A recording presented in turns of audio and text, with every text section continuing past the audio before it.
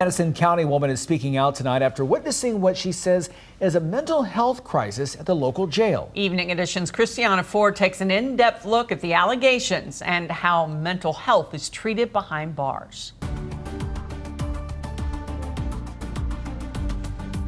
The walls of Ramee Birchfield's home are lined with photos and paintings of her son Logan Browning. This is Logan when he's a little boy. Logan is now behind bars, accused of barricading himself inside an ex's apartment in an hours long standoff and setting the apartment on fire. He will do fine in the prison, but I just want him to be treated like a human being that he is. Birchfield has kept notes of her son's battle with mental illness, which she says started in the third grade. Logan, I'm here with the news channel people. They're at the house right now. Birchfield says she's tried to get him his prescribed medication in the Madison County Jail, but was denied.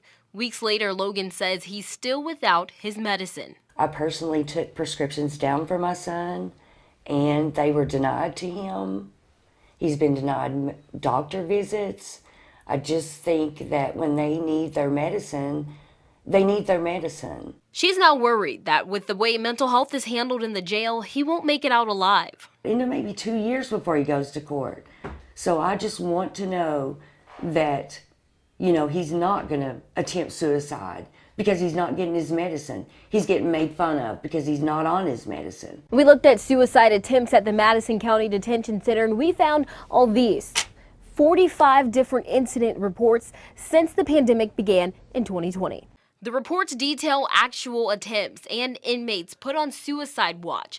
Madison County jailer Stephen Tussey says he believes those numbers are inflated. He says they use a service called jail triage when prisoners are brought in, which leans on the side of caution and puts inmates on suicide watch until they can be properly evaluated.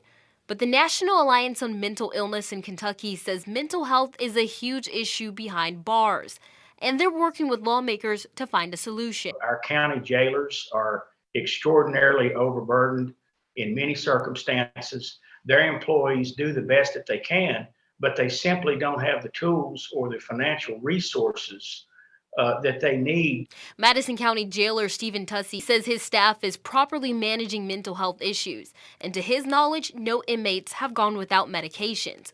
Birchfield says she just wants people to be aware there's more going on behind the scenes. It's not just my son, it's a lot of people. This is going on all over, and I just want people to be aware of it. In Madison County, Christiana Ford, Evening Edition.